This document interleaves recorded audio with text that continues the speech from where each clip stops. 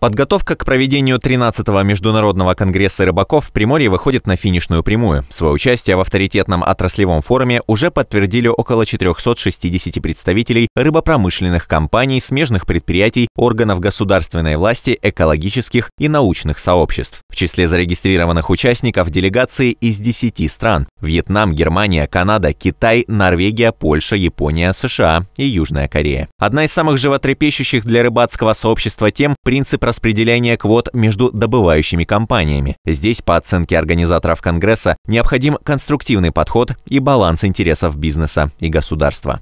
Хотим, чтобы нас услышали и в какой-то мере дали ответ. Пусть положительный, пусть отрицательный, но рыбаки должны знать, куда вести свое направление. Если он строит суда, он должен знать, что в перспективе ему, у него будут квоты.